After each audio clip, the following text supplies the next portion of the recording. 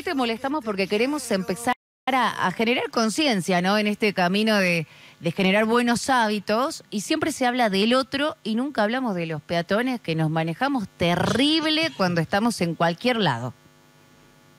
Sí, que como bien vos dijiste, peatones somos todos, ¿no? Eh, no hay manera de que no seamos peatones. En algún momento pisamos la, calle, la vereda, la vía pública, cruzamos, así que peatones somos todos.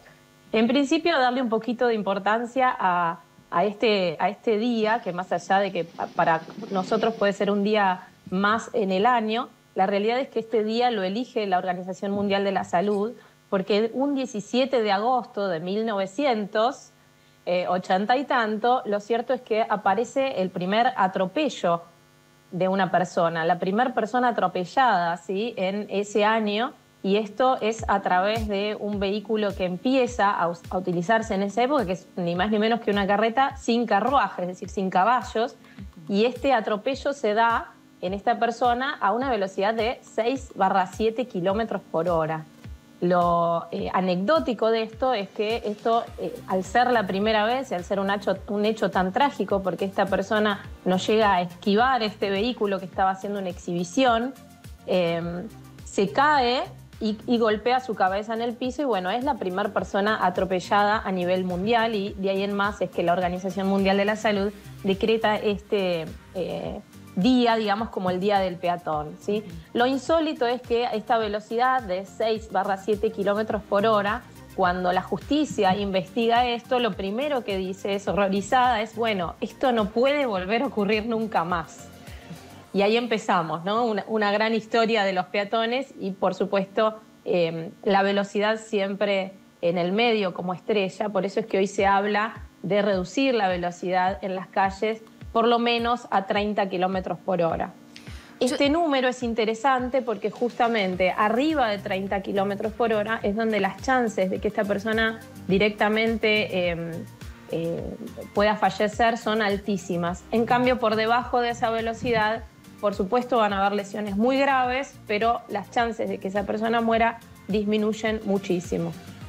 Ahora, Cari, yo te pregunto sobre cifras, cifras de peatones eh, que van falleciendo lamentablemente en el año en la Argentina. Y no solo sobre las cifras, sino que siempre se apunta, vos decías, em, por ejemplo, eh, la, velocidad. Pero la mayoría de las veces se apunta a la velocidad y se apunta principalmente al que conduce y no apuntamos al que transita, porque muchísimas veces cruzamos por cualquier lado, no prestamos atención. ¿Qué está pasando? Sí, yo creo que en principio el gran problema que hay, eh, como decimos siempre, el ser humano es un animal de costumbres y necesitamos estar, eh, generar hábitos. Y los hábitos se generan a través de la, educación, ¿verdad? A través de lo que recibimos. Esto que ustedes hoy decían muy, muy cómicamente al principio de la, de la charla, ¿no? De los vamos a volver locos. Bueno, de eso se trata. A veces las personas lo que necesitamos es aprender por repetición, aprender por escuchar, a veces creemos que sabemos algo y siempre hay algún datito de más que podemos agregar. Entonces, eh, el hecho de eh, concientizar a las personas es extremadamente importante porque siempre en algún lugar nos va a tocar.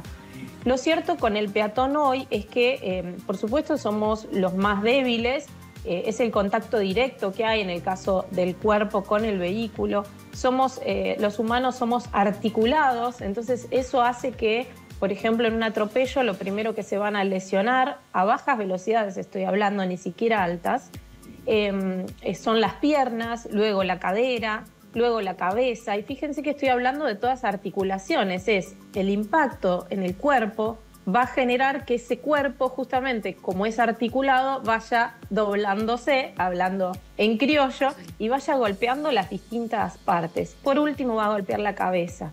Em, esto hace que estas lesiones muchas veces eh, generan incapacidades graves, incapacidades de por vida, no solo la muerte. A veces vamos al extremo de la muerte, pero estamos extremadamente expuestos todo el tiempo.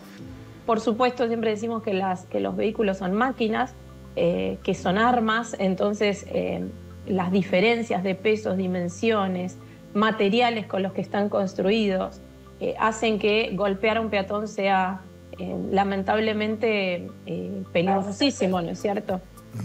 Ahora, Karina, buen día. ¿Cómo, cómo se puede educar a, los peatones? Teniendo en cuenta que por ahí, poniendo un ejemplo, se baja eh, del colectivo, del transporte en cualquier lugar o, pasa por cualquier lugar. ¿Cómo se puede educar?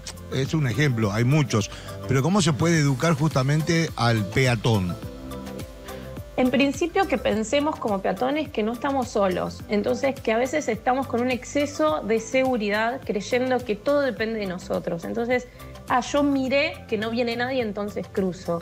Eh, yo miré que el colectivo, este, si me está dejando medianamente lejos del cordón de la vereda es porque él ya vio, bueno, yo estoy viendo, como que tenemos que dejar de pensar que lo podemos controlar todo, que hay otras personas, que hay otros vehículos que otros se pueden equivocar y en general ahí es donde eh, tenemos el punto flojo, ¿no? Cuando otros se equivocan. Entonces, siempre estar pensando en que si, por ejemplo, tenemos una normativa que dice que crucemos por la esquina, bueno, todo está hecho por algo.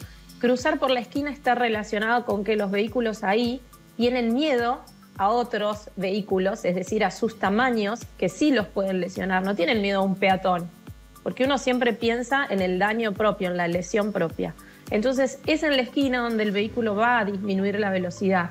Por eso es el lugar más seguro.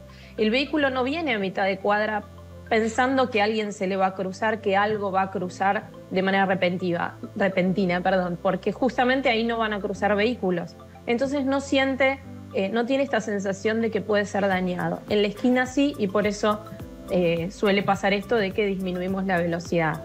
Luego el tema del cruce a veces eh, intempestivo por mitad de cuadra o con el, la falsa versión de como estoy apurado, cruzo mal. Si nosotros evaluáramos realmente ese cruce, créanme que es exactamente lo mismo que cruzar por la esquina. Por eso digo que es una falsa, este, un falso, eh, una falsa frase, ¿no? Esto, no, estoy apurado. Si nosotros planificamos antes nuestro viaje, nuestro eh, viaje en vehículo y hacemos un montón de cosas para llegar seguros al otro extremo, al, final del camino, lo mismo podemos hacer siendo peatones, visualizando por dónde vamos a cruzar, a dónde queremos llegar. Y créanme que siempre el, cruce por las esquinas no solo es el más seguro, sino que realmente eh, no cambia las distancias. No es verdad que voy a llegar más rápido.